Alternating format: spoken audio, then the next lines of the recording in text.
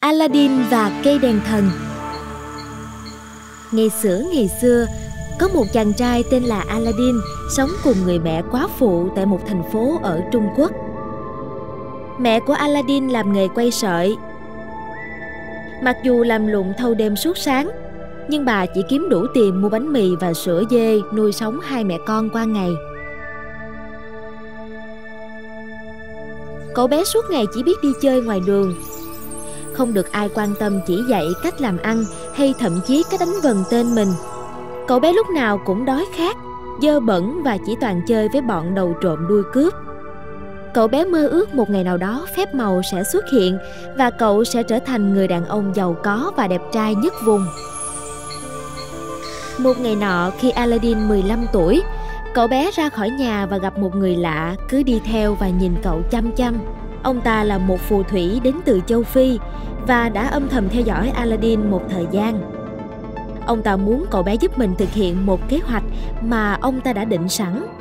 Bởi cậu bé là một người mà nếu có biến mất đi thì cũng chẳng ai quan tâm. con có phải là con trai của ngài Mustafa không? Dân thưa ông, đúng vậy. Nhưng cha của tôi đã qua đời cách đây nhiều năm rồi. Ông ấy là một thợ may nghèo. Từ khi ông ấy mất đi, gia đình chúng tôi càng khốn khó hơn. Con trai của ta ta chính là chú của con đây. Ta đã lưu lạc xa xứ nhiều năm nay.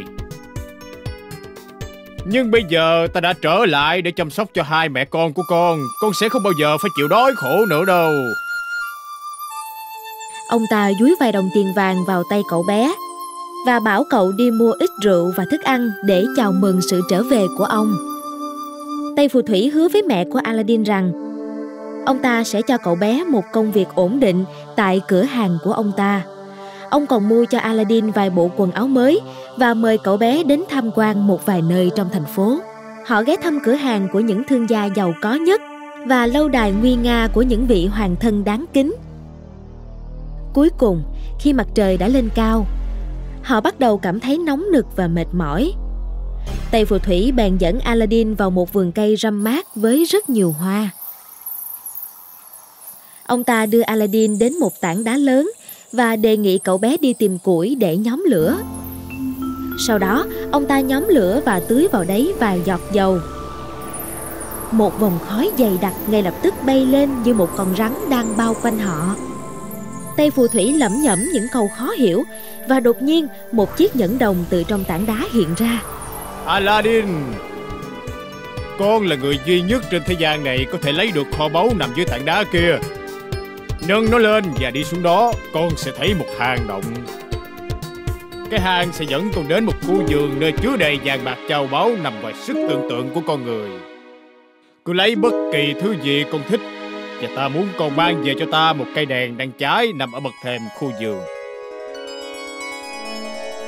Lấy chiếc nhẫn này, Lấy chiếc nhẫn này, Con trai của ta, Đeo nó vào ngón tay và nó sẽ phù hộ cho con tránh khỏi những điều dữ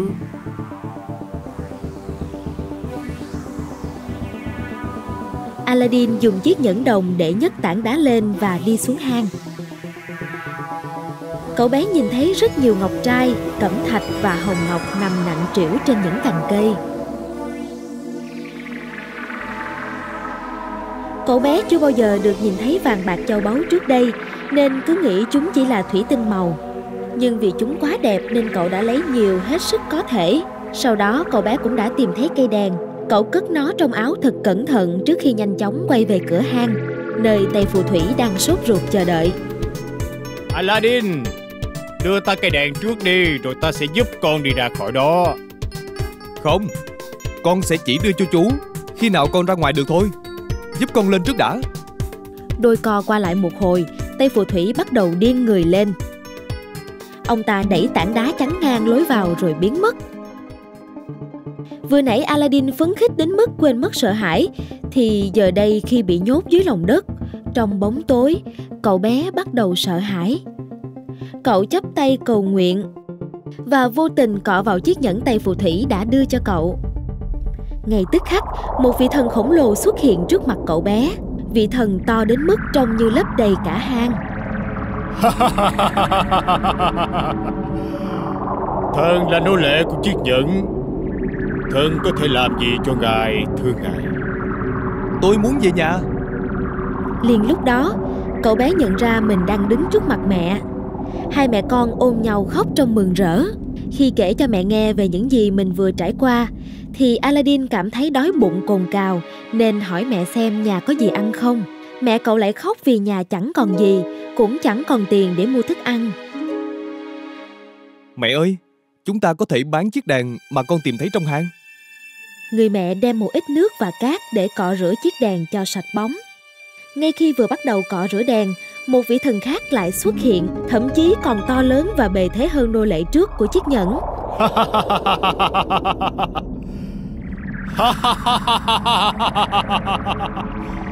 ngài muốn ra lệnh gì thưa ngài Mang ít thức ăn về đây cho ta. Chỉ một chớp mắt sau, vị thần lại xuất hiện mang theo những chiếc đĩa bạc chứa đầy thịt, trái cây và những chiếc ly bạc đựng rượu rồi lại biến mất.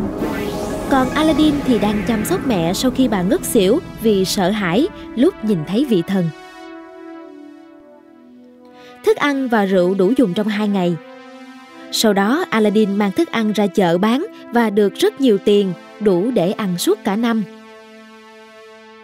Trong nhiều năm sau đó, họ tiếp tục sống tăng tiện bằng số tiền này và chỉ dùng đến thần đèn khi thực sự cần giúp đỡ. Aladdin cũng đã trở thành một chàng thanh niên khôi ngô tuấn tú, chàng trai thông minh dành thời gian theo học nghề với các thương gia trong thành phố. Một ngày nọ, anh chàng vô tình nhìn thấy con gái của hoàng thân được đám gia nô khinh trên một chiếc kiệu nhỏ đi trên đường. Nàng công chúa xinh đẹp đến mức khiến chàng trai say đắm ngay từ cái nhìn đầu tiên và muốn lấy nàng làm vợ. Anh chàng bèn mang vàng bạc châu báu lấy được từ khu vườn phép thuật mà đến giờ anh vẫn chưa biết thuộc về ai.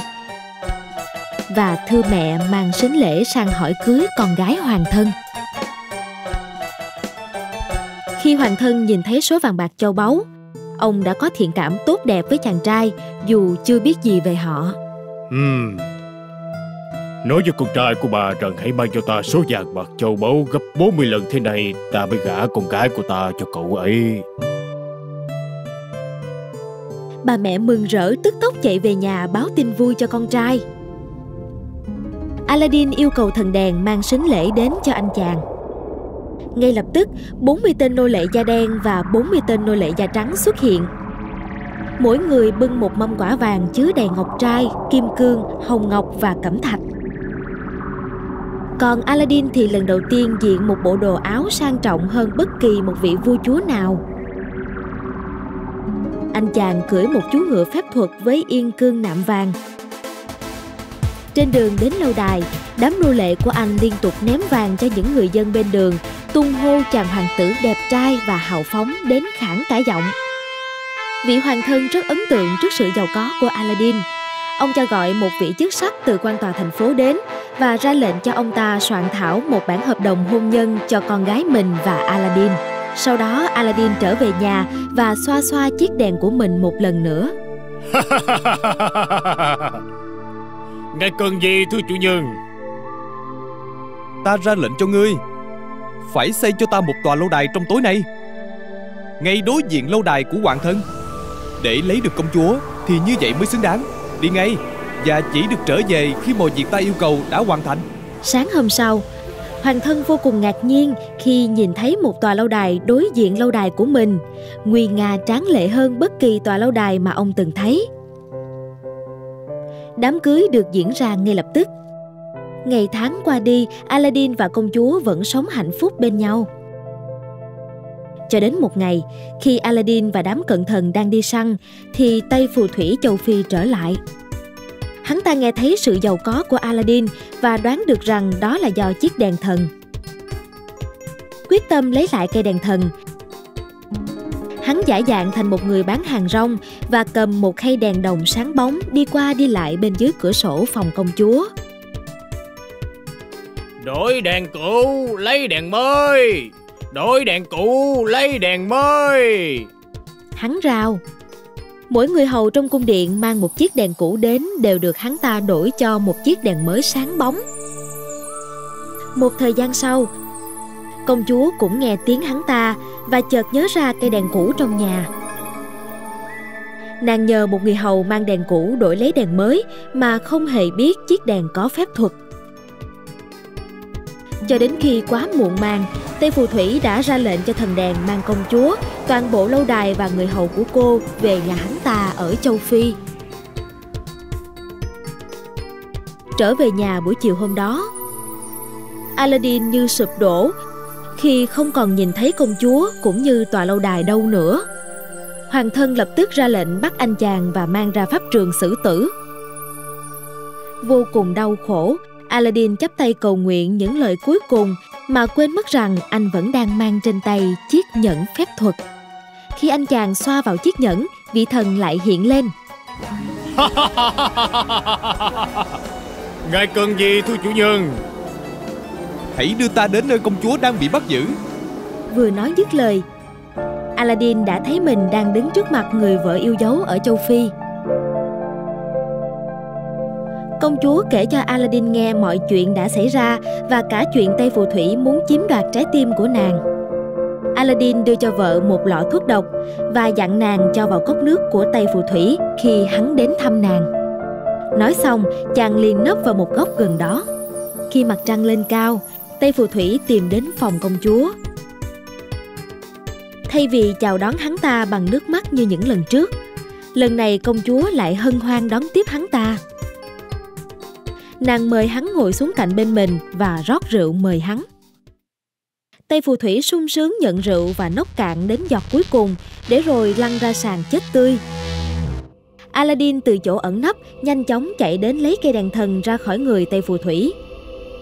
Ngay khi anh chàng xoa lên chiếc đèn, vị thần xuất hiện để giúp mang cả lâu đài và mọi người về lại nhà. Aladdin liền dẫn công chúa đến gặp cha Cả ba vỡ òa vì vui sướng. Họ sống hạnh phúc bên nhau mãi mãi về sau.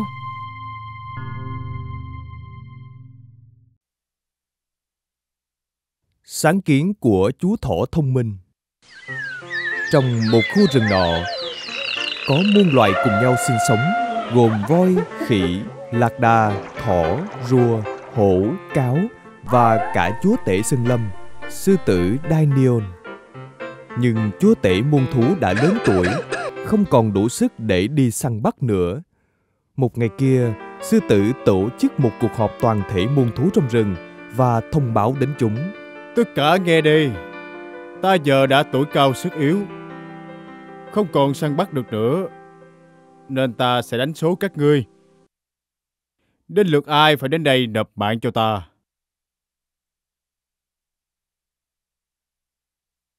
Đừng cố tình lừa dối ta, vì ta có đủ quyền năng để đánh bại các người. Nói xong, sư tử rống lên thật to. Tất cả muôn thú đều gật đầu trong sợ hãi. Thế là tôi cả đám. Ngày tiếp theo, muôn thú được đánh số và bắt đầu đến hang sư tử theo thứ tự rùa, nai, bò đều lần lượt bị giết chết. Còn sư tử giờ đây cảm thấy hạnh phúc và khỏe mạnh hơn nhiều. Một ngày nọ, đến lượt mẹ thỏ đến nạp mạng, bà căn dặn con trai. Con trai ơi, hôm nay là ngày đến số của mẹ. Mẹ sẽ chết, con sẽ phải tự sống một mình. Phải tự biết chăm sóc lấy cho bản thân và thật bản lĩnh nhé. Thỏ tin anh và thông minh liền đáp. Mẹ à, mẹ đừng lo lắng.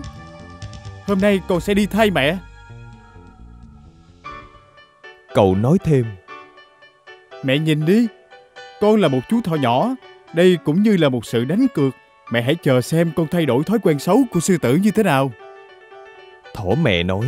Ừ, con trai. Nhưng con phải cẩn thận nha. Dù gì ông ta cũng là chúa tể Sơn Lâm. Thỏ con liền lên đường Trên đường đi, thỏ gặp khỉ đang hú. Thỏ hỏi. Khỉ này, khỉ này, hú hú. Cậu nhìn cũng không phải là một kẻ ngốc nghếch. Chắc cậu cũng nhìn thấy cách hành xử của sư tử. Khỉ hỏi. Thế cậu định làm gì? Thỏ đáp. Cậu nhìn đi. Tớ là một chú thỏ nhỏ. Đây cũng là một sự đánh cược. Cậu hãy chờ xem tớ thay đổi thói quen xấu của sư tử như thế nào.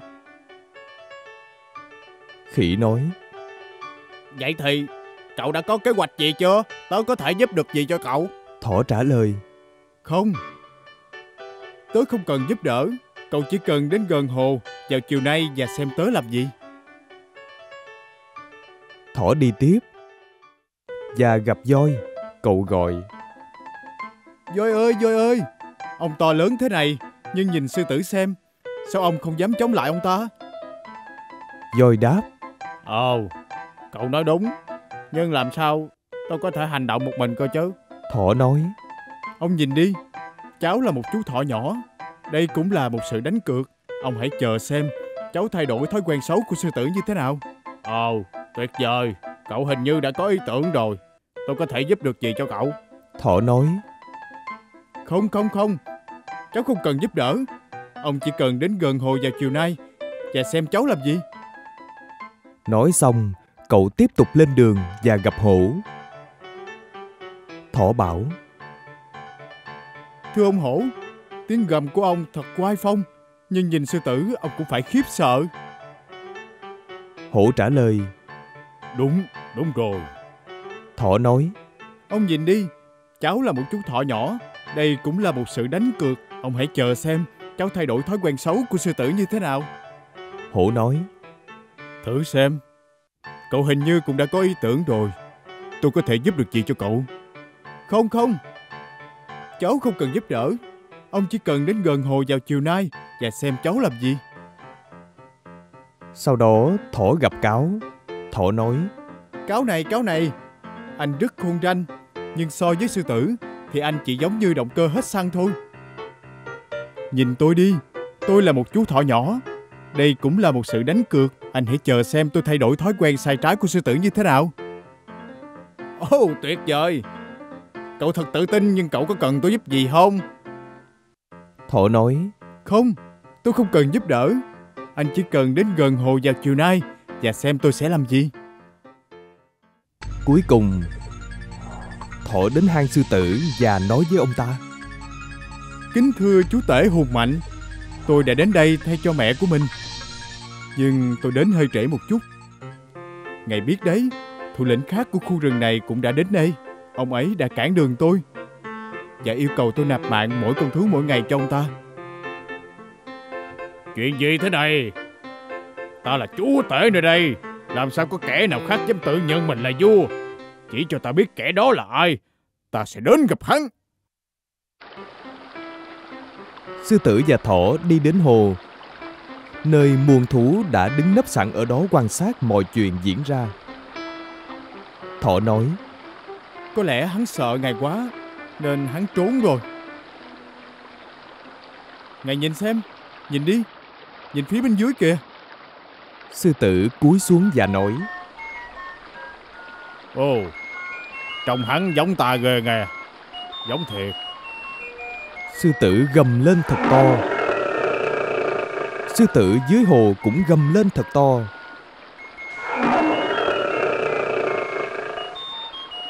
Chúa tể Sơn Lâm lúc này rất tức giận.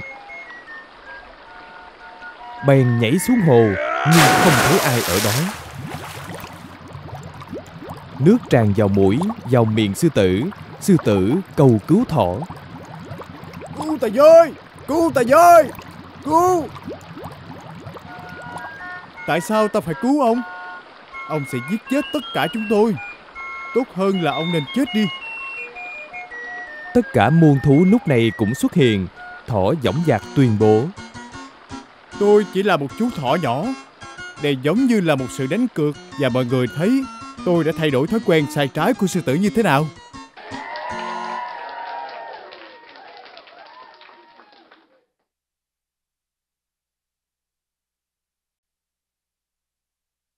Tại sao quả màu đen? Nhiều năm về trước, tất cả các loài chim chỉ có duy nhất một bộ lông màu trắng. Do bộ lông màu trắng mà loài người không thể đoán đây là loại chim gì. Bây giờ bạn thử tưởng tượng loại chim với bộ lông màu trắng có thể dễ dàng bị nhìn thấy trong những bụi cỏ xanh. Điều này làm cho loài chim dễ bị săn bởi các thợ săn.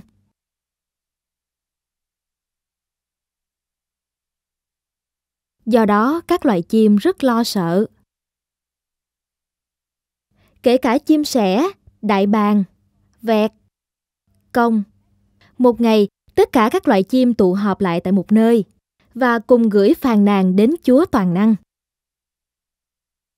Chúa hiểu thấu được vấn đề của loài chim và Ngài nói Hỡi muôn loài chim, ta sẽ tạo ra màu sắc khác nhau cho các ngươi. Sau 8 ngày, các ngươi hãy đến tìm ta. Ta sẽ ban các bộ lông màu khác nhau. Tất cả các loài chim cùng mong chờ ngày được ban cho bộ lông màu. Rồi ngày đó cũng tới.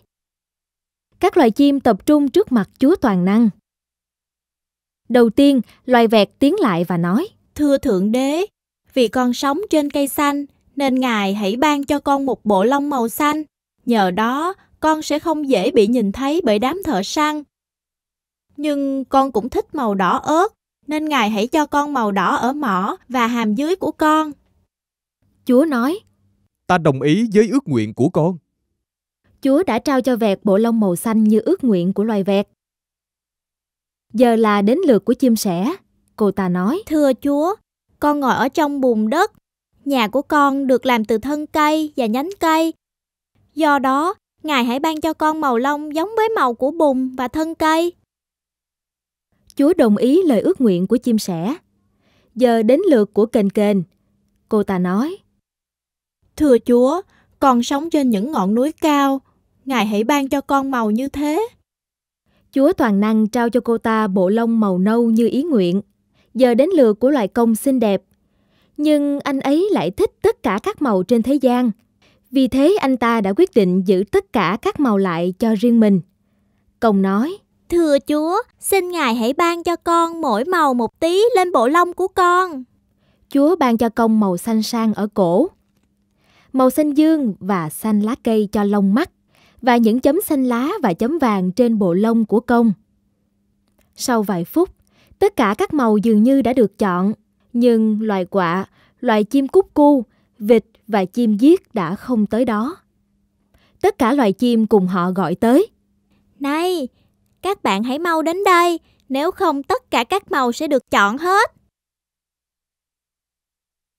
Chỉ có quạ và chim cúc cu là đến ngay lập tức, nhưng chỉ còn một ít màu còn sót lại. Bọn họ gửi yêu cầu đến Chúa Toàn Năng.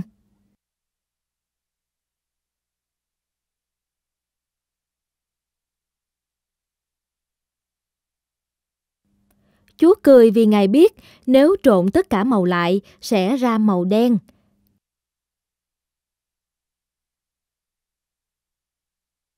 Nhưng Ngài vẫn im lặng và ban cho quạ và chim cúc cu bộ màu mà chúng yêu cầu.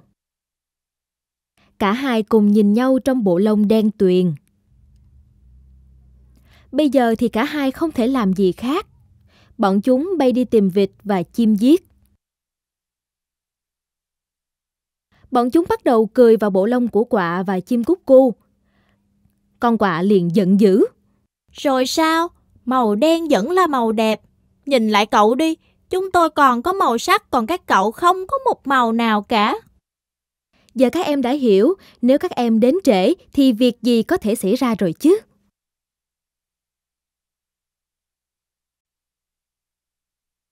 Chú chuột ngu ngốc Các bé ơi, câu chuyện hôm nay sẽ kể về cuộc chiến giữa chuột và cầy lõn. Có một cuộc nội chiến giữa hai gia đình nhà chuột và cầy lõn. Từng xảy ra một cuộc chiến lớn giữa hai phe. Cả hai đều không mấy ưa nhau. Họ luôn đối đầu với nhau và trong những cuộc chiến đó, phần thua luôn nghiêng về nhà chuột. Còn nhà cày lõn luôn là người chiến thắng. Thất vọng, nhà chuột đã tổ chức một cuộc họp bàn cách làm sao giành chiến thắng trước nhà cày lõn. Một thành viên lên tiếng, Làm thế này đi, thành viên khác nói. làm thế kia đi. Vừa lúc đó, một thành viên trẻ của nhà chuột đứng dậy phát biểu. Thưa cả nhà, tại sao chúng ta luôn thất bại trong mọi cuộc chiến? Chúng ta có biết tại sao không? Tại sao chúng ta luôn bị đánh bại? Vì chúng ta vô kỷ luật. Đội quân của chúng ta toàn những kẻ ngốc nghếch và dở hơi. Chúng ta thậm chí còn không có đội ngũ chiến đấu cũng như một thủ lĩnh đích thực. Kế hoạch chiến đấu của chúng ta đều trở nên vô nghĩa khi chẳng ai chịu nghe ai. Mỗi người đều nghĩ mình là số một, muốn làm gì thì làm, tự quyết định cách chiến đấu và chiến đấu không mục đích. Gia đình chúng ta sẽ giành chiến thắng được không? Không. Nếu muốn thắng thì đầu tiên chúng ta phải chọn ra một thủ lĩnh, tuân theo mệnh lệnh của chỉ huy để tấn công kẻ thù. Ai nấy đều vô cùng thích thú trước lời phát biểu của chú chuột trẻ. Họ đồng lòng nhảy múa vui vẻ. Bầu chuột trẻ trở thành thủ lĩnh của cuộc chiến mà không chút đắn đo rằng cậu có xứng đáng với vị trí đó hay không. Trong khi đó, chuột trẻ lại rất sẵn sàng cho vị trí thủ lĩnh. Cậu lân lân như đang ở chín tầng mây. Chuột thủ lĩnh đã chia sẻ rất nhiều điều tuyệt vời trong buổi họp hôm đó. Cậu ta giỏi khua môi múa mép, nhưng thực chất vẫn chưa biết làm cách nào để thống trị thế giới. Quy luật của chiến tranh là gì? Làm sao để tấn công kẻ thù? Nếu kẻ thù tấn công ta thì kế hoạch phòng thủ là gì? Cậu ta chẳng biết một thứ gì cả. Chuột trẻ sau khi trở thành thủ lĩnh bắt đầu ngủ quên trong ánh hào quang. Cậu ta hỏi tất cả nhà chuột. Bây giờ ta đã là thủ lĩnh, ta cần phải được tôn sùng như những vị thủ lĩnh của thế giới loài người. Ta muốn được lễ bái bởi năm cô chuột mỗi ngày. Và các ngươi phải tổ chức cho ta một chuyến di hành kiểu hoàng gia đến từng địa phương lớn nhỏ. Ngoài ra, còn phải in hình ta lên mọi tờ báo. Việc đầu tiên các ngươi cần làm là học cách kính trọng vị thủ lĩnh của mình. Ôi trời ơi! Giờ đây vấn đề cấp bách là chiến đấu nhà cày lõn đã bị dẹp sang một bên. Chu thủ lĩnh vẫn không ngừng tự ca ngợi và tôn sùng bản thân. Cậu ta chỉ biết chụp ảnh đăng báo và tô vẽ cho mình trở thành một người hoàn hảo, nhưng lại không được như thế. Các em có biết chùa thủ lĩnh đã làm gì để trở nên khác biệt và tuyệt vời nhất trong cộng đồng của mình không? Cậu ta còn chuẩn bị một bộ giáp sắt và một chiếc vương miện với hai cái sừng to trên đó. Một ngày nọ, có một chú chuột nhi đồng thắc mắc. Còn cuộc chiến thì thế nào thưa ngài? Thủ lĩnh vô tư hỏi lại. Cuộc chiến? Cuộc chiến nào cơ? Chuột nhi đồng vô tư hỏi lại. Ngài đã từng dự định sẽ dạy cho bọn cày lóng một bài học cơ mà. Ồ, ta nhớ rồi, đúng vậy, đúng vậy. Hãy đi hỏi nhà chim tinh ngày lành tháng tốt để chúng ta bắt đầu cuộc chiến. Đi ngay đi. Người kiểm tra lịch, người chọn ngày giờ để khai chiến. Đến giờ, nhà chuột đã tấn công đội quân của nhà kè lõn. Nhưng kết quả cũng như những lần trước. Nhà chuột tỏ ra tinh ranh nhưng vẫn chịu thất bại trước đối thủ. Tất cả thành viên nhà chuột nháo nhào chạy về hang ổ của mình để tự bảo toàn tính mạng. Cả một đội quân hùng hậu của nhà cày lõn đứng trước mặt. Nhà chuột không có cách nào khác là rút quân về. Chỉ có chuột thủ lĩnh, người cũng bỏ chạy, bị vướng lại trên đường thoát thân do chiếc vương miệng với cặp ngà trên đó bị kẹt ở cửa. Không tìm được lối thoát, chuột thủ lĩnh dễ dàng bị tóm gọn bởi nhà cày lõn. Thủ lĩnh đáng thương vì hành xử gan dở và ngu ngốc đã tự cướp đi mạng sống của chính bản thân mình.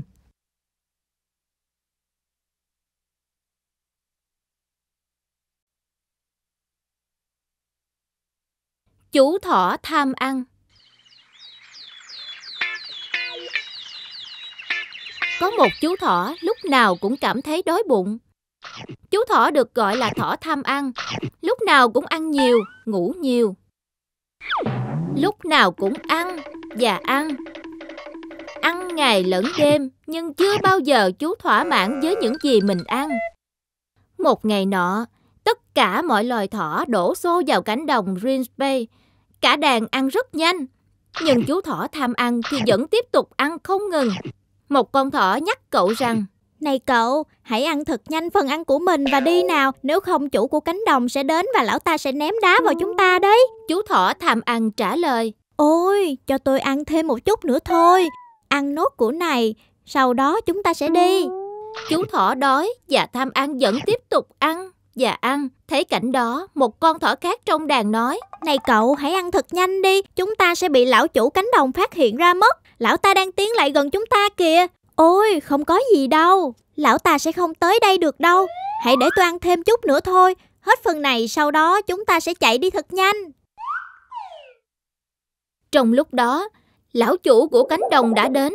Cả bầy thỏ bắt đầu hô quán. Chạy chạy thôi, lão chủ đến rồi. Tất cả bầy thỏ đều bỏ chạy, nhảy đi những bước dài. Nhưng chú thỏ tham ăn của chúng ta thì lại không thể chạy hay nhảy nổi, vì chú đã ăn quá nhiều. Tất cả các con thỏ khác đã bỏ chạy thật nhanh khỏi cánh đồng. Nhưng chú thỏ tham ăn thì ăn quá nhiều, nên khi chú cố gắng nhảy để trốn đi thì chú lại rơi xuống khu đất rậm rạp của cánh đồng. Chú thỏ bị bao phủ toàn đá xung quanh và vào lúc đó chủ của cánh đồng bước tới cùng với cây gậy to thật to trong tay lão. Lão đánh tới tấp chú thỏ tham ăn. Vừa chạy vừa chửi rủa. Bằng cách nào đó, chú ta cũng bỏ chạy được về nhà. Chú nghĩ thầm. Ôi, thật may mắn mà mình thoát chết. Chú ta bắt đầu đi chậm lại. Nhưng ở đó lại có một con cáo xuất hiện trước mặt. Bất thình lình xông thẳng tới chú thỏ. Tất cả bầy thỏ đã bỏ chạy được về nhà. Chỉ duy nhất còn chú thỏ mập còn ở xa bên ngoài. Lúc chú chạy vào nhà, vì bụng của chú đã quá nặng nề đầy thức ăn, mà chú đã bị kẹt lại ở ngoài cánh cửa nhà. Tất cả các chú thỏ trong bầy cố gắng kéo chú ta từ bên trong. Nhưng con cáo đã kịp chụp đuôi của chú. Đó như một cuộc chiến tranh nảy lửa. Chú thỏ tham ăn đã khóc rống lên và gian xin tha mạng. Nhưng con cáo không buông tha chú ta ra. Cuối cùng, đuôi của chú thỏ tham ăn đã bị đứt. Con cáo té ngửa ra sau, cùng với tiếng thét lớn. Bằng cách nào đó, những con thỏ khác đã kéo được chú thỏ tham ăn vào trong nhà. Mặc dù được cứu sống, nhưng chú thỏ tham ăn đã bị mất đuôi chỉ vì tham ăn mà tự đẩy mình vào nguy hiểm.